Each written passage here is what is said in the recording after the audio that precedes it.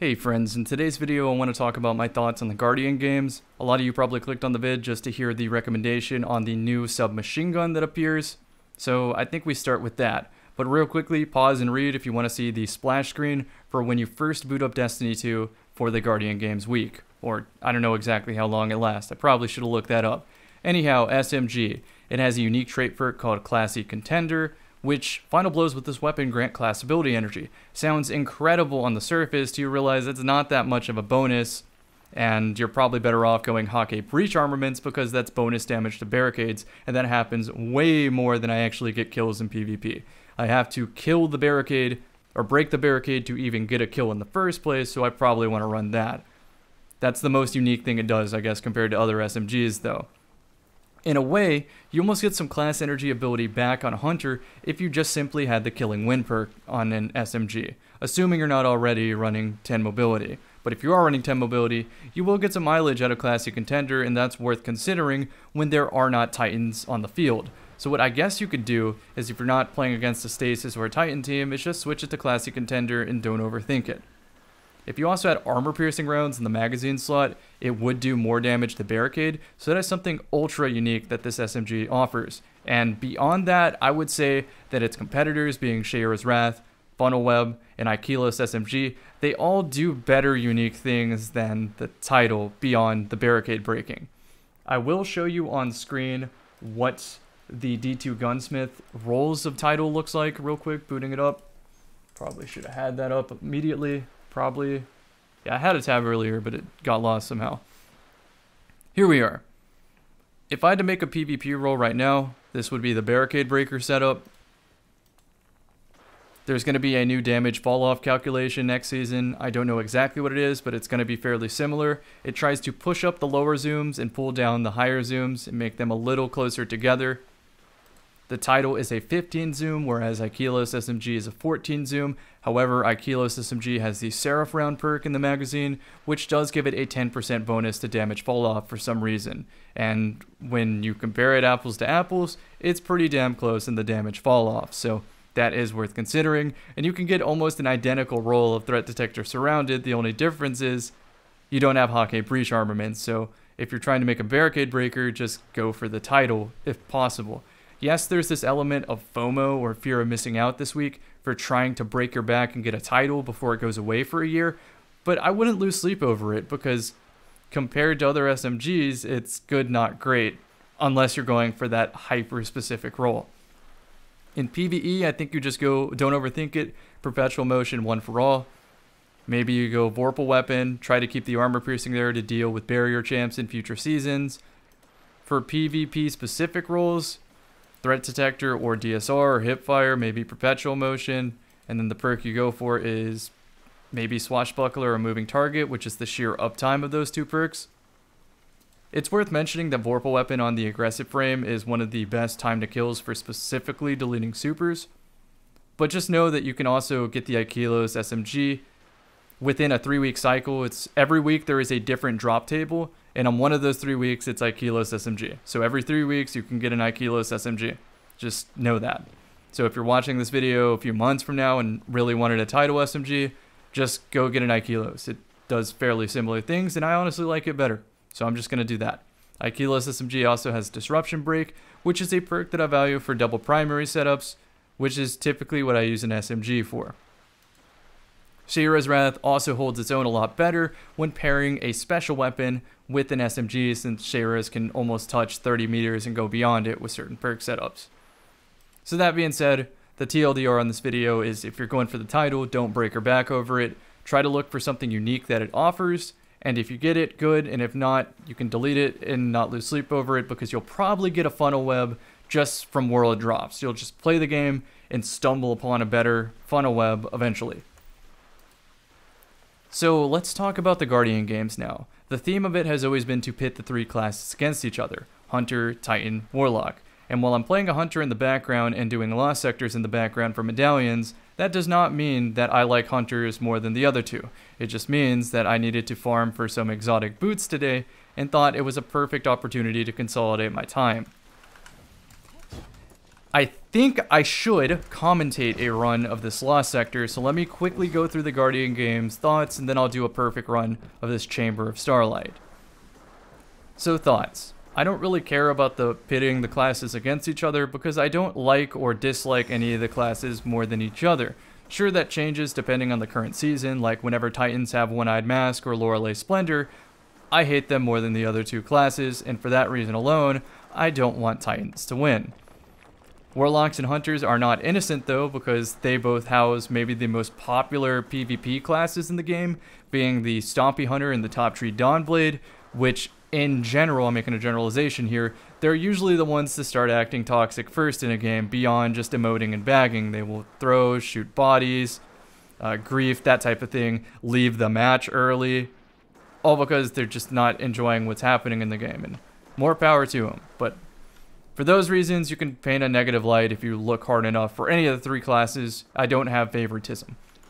Now, when it comes to what I personally like to play, I usually forego uh, playing what I like to play so that I have a well-rounded team. If we're talking a team of three, Titans are very rare to have a competent Titan player on a team, even though in my opinion, it creates one of the most well-rounded teams. So let me paint the picture for you. If you run a triple hunter setup, three invis hunters, it's good, but eventually you're going to run into any amount of bubble titans or top tree dawn blades, and you're not going to have a great answer to that when the bubbles come up, you're what are you gonna do? Shoot a tether at them? What are you gonna do? Use the spectral blades that hasn't charged yet? You're just have a straight counter to your setup. So for that reason, I like to mix the three together to try to handle anything the game throws at me. So again, typically if my teammates play Hunter and Warlock, that forces me on Titan, although I won't say that Titan is my favorite. If you held a last word to my head and told me to win a tournament tomorrow, I'm showing up with Shadebinder most likely, if I don't know who my teammates are, or can't trust my teammates for whatever reason.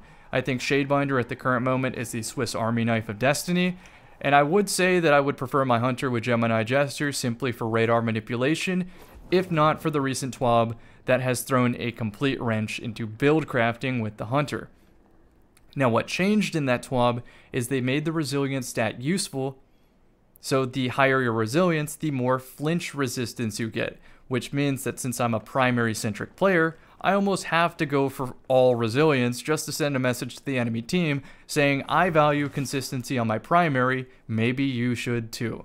And as a result, that throws a wrench in the fact that mobility is important and recovery is important to a hunter. So how the hell am I going to fit 10 resilience on it? The answer is it's very specific and I have to farm out an entirely new armor set. There are ways to do it. Like on Nightstalker, I'm going to forego a little bit of mobility and it's going to end up being 6, 10, 10 with moderate stat splits here. And believe it or not, I'm going high into strength on my Stompies just so that I can do this. Get back to the ground a little bit sooner. And that Shatter Smoke does damage to the enemy team. So it's a match made in heaven to mitigating the future negative aerial effectiveness penalty of Stompies. And it's a very smart build.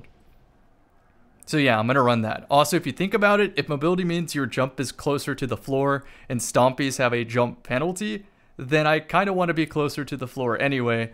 I'll forego a little bit of dodge and maybe I'll get it back in a new way, like with bolstering detonation or with the killing wind perk on some of my weapons. I don't even know if I have one right now that has it. I do have a bow with killing wind, and it's worth mentioning that bows on Hunter are especially useful because on Hunter, if you use your jump ability, you don't have to redraw the bowstring like you would on Titan or Warlock outside of Lion Rampant and Top Tree Dawnblade. So yeah, Hunter plus a bow, really good, and bows weren't mentioned in the TWAB for being excessively powerful, and I do think they're the best primary in the game, so I'm going to use more bows in the future. Of course, a bow doesn't always synergize exactly with what the team's running, so sometimes I put away the bow. But most of the time when I'm solo, bow is the play. So yeah, that was a mouthful to basically say. I show no allegiance to any class, I play what the best option is for the team, and at the current moment, the Swiss Army knife of Destiny 2 is the Shadebinder, though I slowly see my Hunter and Titan having builds that can rival it. And once that happens, I'm probably just going to flip a three sided coin before I play Destiny 2, or just whatever strikes my fancy that day and play. So, therefore, the theme of Guardian games, which is class warfare, doesn't appeal to me at all.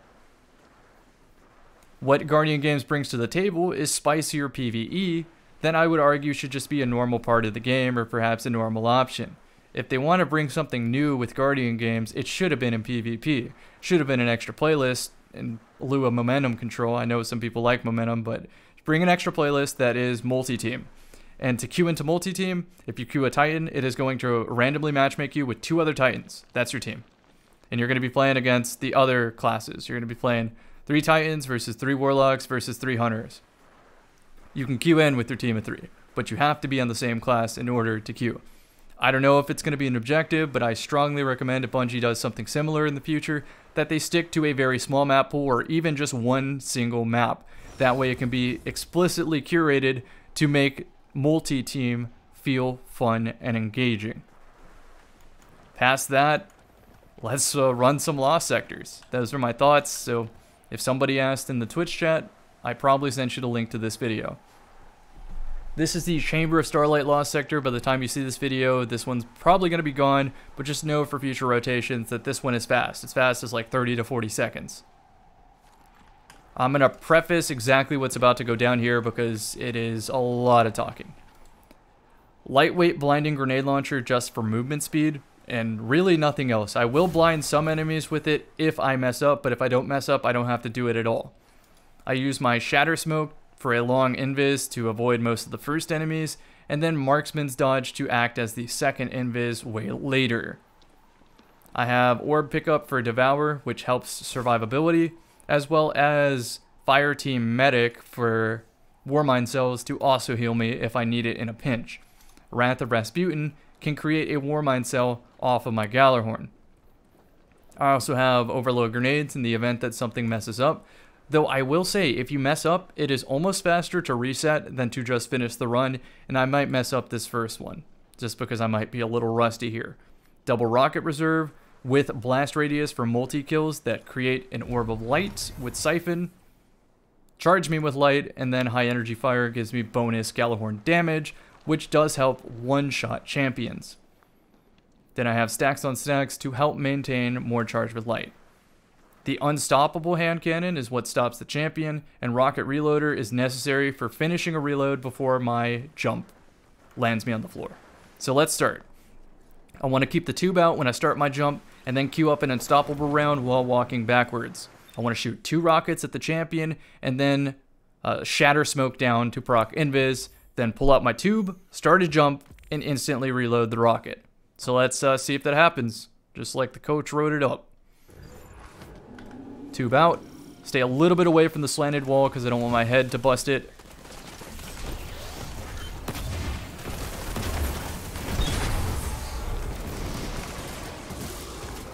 Tube out again. Gonna do some very, very light parkour here just to avoid clambering. Cue up the gun again. Unstop. Hit fire to not hit an acolyte, perhaps. Reload. Break the shield of the wizard. Unstop in. Avoid acolytes. Splash the wizard. Get my health back. Finish these reloads. Marksman's dodge about to go huge here. And now I want to jump over the knight and pop the overload um, twice. And that should finish it. And there we go. Platinum in how many seconds was that? Please, just let me see the time. 40 seconds. So just like the coach wrote it up.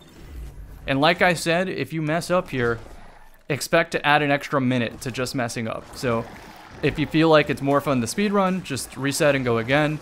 And if you really just want the loot, just finish it. It's going to be about the same time, which is why I recommend you bring Overload Grenade, just in case you fuck up.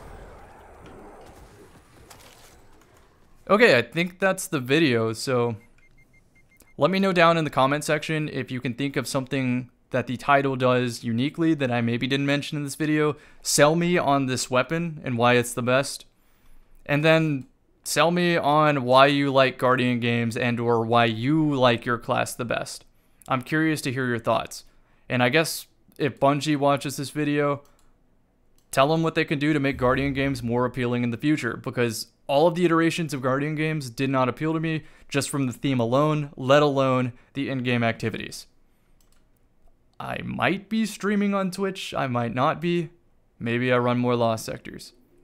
Uh, see you in the next one. Thanks again, everybody.